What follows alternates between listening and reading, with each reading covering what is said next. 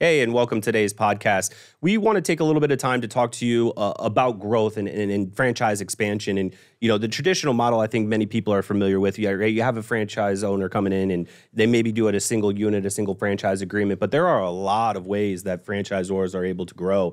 And we've we've talked about master license, right? And, and it's somebody developing an entire country and kind of what that looks like and the pros and the benefits of doing that types of thing. So check out that podcast. But today we want to focus a little bit about area developers, right? And and multi-unit owners and kind of what are the the differences and similarities and why somebody might be attractive to each one of those opportunities. So Bill, why don't you give me a little bit about you know your your thoughts on what is an area developer and, and some of the benefits of being one well, one main benefit definitely of an area developer are the discounts that you're going to get with us.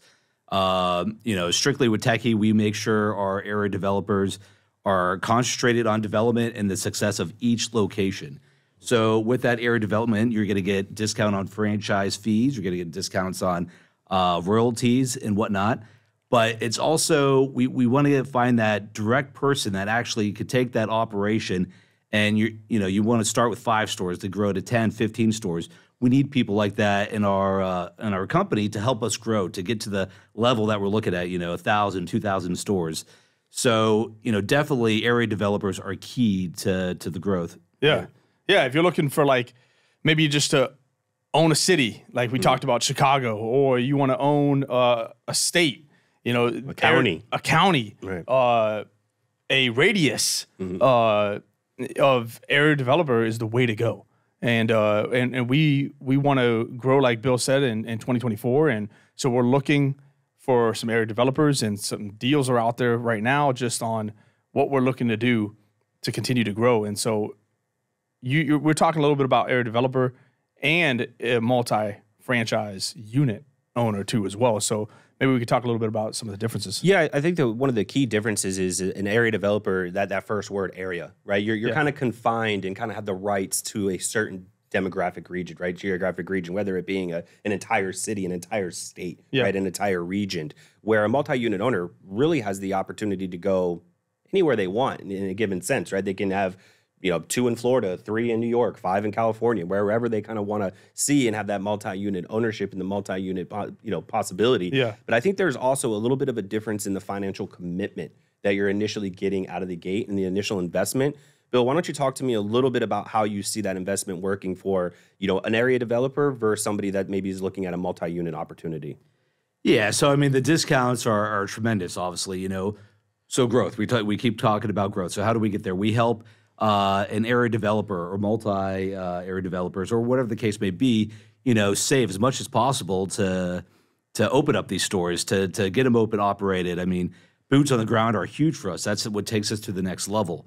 So with having these partnerships, we could easily do that. Yeah, absolutely. And I think you know, the multi-unit owner is making that initial commitment of buying X amount of stores, X, Correct, Y, Z yeah. amount of stores, right? Call it 10, 20, 30 stores. Correct. Right? Yeah. And maybe he's and bringing They're not directed, obviously, to one location. Right. So, you know, if they have, you know, uh, you know, different states in mind or what, what, what the case may be, that works out pretty well for them. Right. And then and the area developer actually has the opportunity to bring in other franchisees, right? Kind of bringing in other partners, bringing in other opportunities, but it still controls that region and that market. But rather than all the operations, all the expense, all the marketing falling on a single owner like a multi-unit owner would, an area developer does have the opportunity to bring in additional resources, bring in additional help, bring in additional franchisees and help grow that brand awareness in their local markets that way right? So a little bit of a difference there, uh, but at the end of the day, both both are very strategic in helping uh, franchisors such as us grow. Yeah, you and if you're, be, you're yeah. looking to do an area developer, I mean, you can even talk about, hey, say you go in an area and you just there's like three other repair shops, so you could talk about, hey, let's convert those three, yeah, right, into into techies, and, and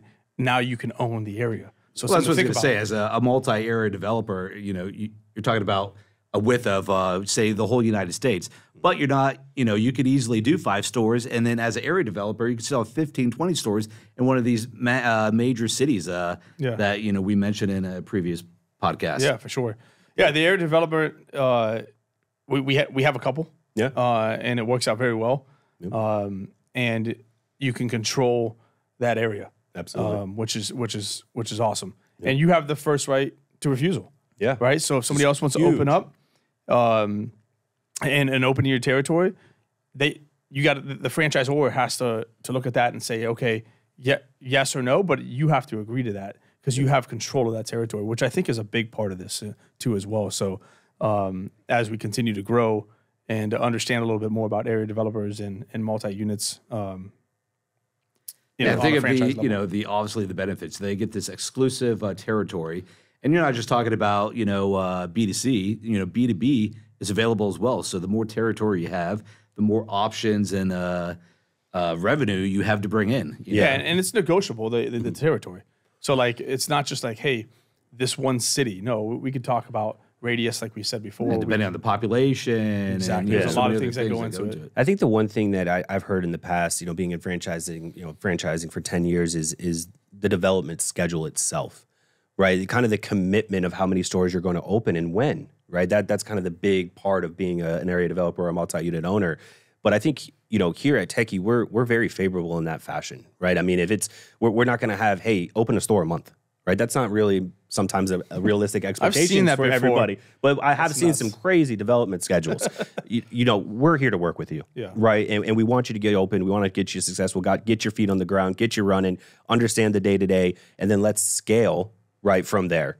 Well, that's a great point, Cal, because we're very reasonable as where we could easily open up five stores, 10 stores a month to where if you want to scale it back to doing one every six months, you know, the key is to make sure you're comfortable and that we're all doing this together to make sure that every store has yeah, as much potential as possible. and, and so many different things. Yeah, We we don't want to close stores, Right. so Thousand percent. So if you're you're interested in an area developer or you know multi-unit opportunity, you know please feel free to visit our website www.techiecompany.com forward slash franchising.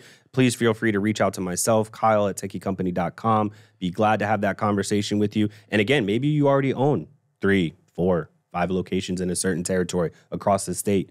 Give us a call. We have something for you too. love that. Yeah. Either acquisitions or convert. Yep, Yep. absolutely. Well, thank you guys, and we'll talk to you soon.